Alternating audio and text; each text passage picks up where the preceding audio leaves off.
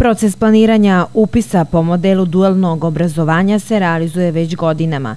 Podsjetila je Danijela Lazarević, stručni saratnik za edukaciju Privredne komore Srbije, regionalne Privredne komore Kruševac i dodala da je novina u odnosu na prethodnu godinu to što je od ove godine proces digitalizovan. Privrednici koji su ranije e, dostavljali e, izjave o spremnosti preko maila stručne službi regionalne Privredne komore Kruševac, od ove godine dostavljaju e, ovaj dokument preko portala Privredne komore Srbije, portal.dualnoobrazovanje.rs.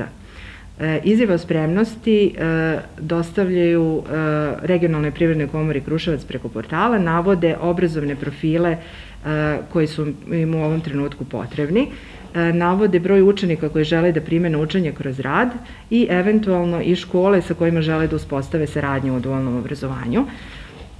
A, takođe, novina od ove godine je da se pored ovog dokumenta dostavlja i zahtev za akreditaciju koji se drži spisak prateće dokumentacije koja je neophodna e, po zakonu o dualnom obrazovanju.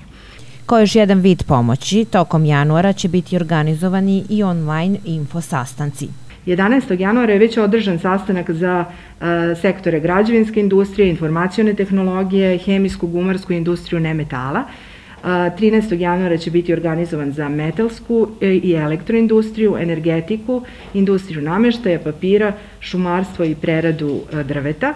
15. januar je rezervisan za farmaciju, prehrambenu industriju i poljoprivredu. 18. januara mogu se prijaviti e, privrednici sektora kreativne industrije, saobraćaja, industrije tekstila, odeće, kože i obuće, a 19. januara iz sektora turizam, trgovina, komunalna delatnost, bankarstvo i osiguranje, tehničko ispitivanje i analize. Regionalna privredna komora Kruševac poziva sve poslodavce sa teritorije Rasinskog okruga koji imaju problem sa deficitarnim zanimanjima i nekvalifikovanim kadrovima da u narednom periodu popune i dostave privrednoj komori izjevo o spremnosti poslodavca za uključivanje u dualno obrazovanje. Rok za prijavljivanje i uključivanje u dualno obrazovanje je 31. januar 2021.